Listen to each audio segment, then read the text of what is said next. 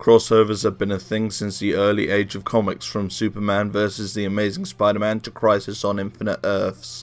Not the Powerpuff Girls! Nowadays, the most popular form of crossover is the cinematic universe, the most popular one being from Marvel Studios, who have produced many superhero films with interconnected stories between them, like the Avengers films. None of this makes sense. Then there are the video game crossovers with Kingdom Hearts and Super Smash Bros, Final Fantasy meets Disney, and every Nintendo character fighting. So, I guess we better all pull together and finish this battle for good.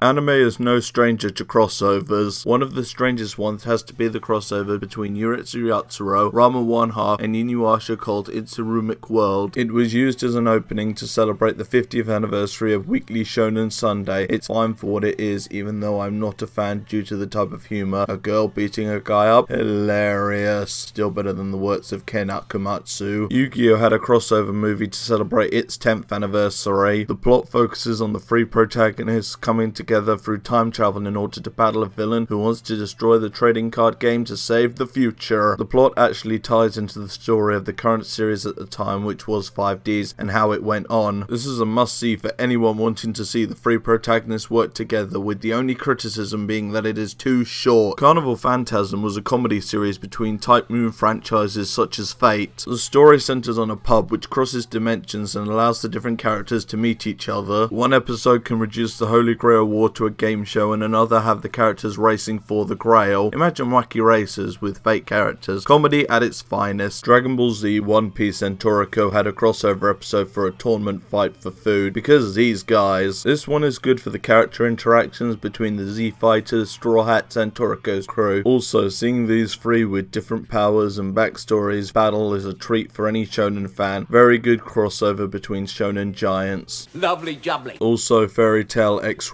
Master. That was a thing for one OVA episode. Seeing as both were created by Hiro Mashima and it definitely feels like something he came up with. Overall it was okay, but a lot of his tropes like fan service and humour hold it back. Animation was good for a single OVA episode. And of course there was Cyborg 009 vs Devilman which was released as a free episode OVA series with amazing fight scenes and use of both sides clashing with their laws being explored. It's mostly based on the two meeting and battling but this works with a team of heroes taking a one big anti-hero. Also, yes, Devilman did meet Cutie Honey once as Akira, but never transformed. So am I dreaming this? I'll tell you later.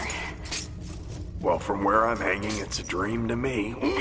The most recurring crossover in anime has to be any time that Dr. Slump crosses over with Dragon Ball. It has happened both in the original series and Super, seeing as they were again both created by the same mangaka Akira Toriyama. Arale usually appears to meet and fight Goku. She even defeats Vegeta, which is always funny. The point is, I think we need more crossovers and not like Accel World where Kirito from Sword Art Online invented the virtual technology. That would be cool, except that both series suck. You pelonka! Some reasons we have to have more crossovers in anime is to have more unique character interactions across series. Have different characters like Ichigo and Deku team up to battle a common enemy, but it doesn't have to be characters within the same genre. There could be a crossover between JoJo's Bizarre Adventure and Nichijou, an action adventure meeting a surreal comedy. Truly bizarre. Animation studios could work together or one studio work on the crossover project that has had a history with both works. Darling in the Franxx has shown studios working together with both their strengths from A1 Pictures and Trigger. A1 worked on the conversational scenes while Trigger worked on the action sequences. Even Conan and Lupin Third had a crossover movie which was great, so anything can happen, even though we all know which is the best crossover in anime.